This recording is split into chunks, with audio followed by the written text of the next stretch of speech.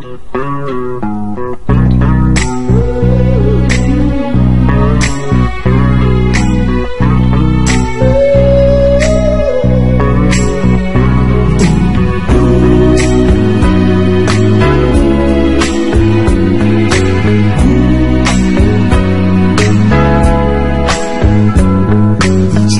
through my window I watch her as she passes.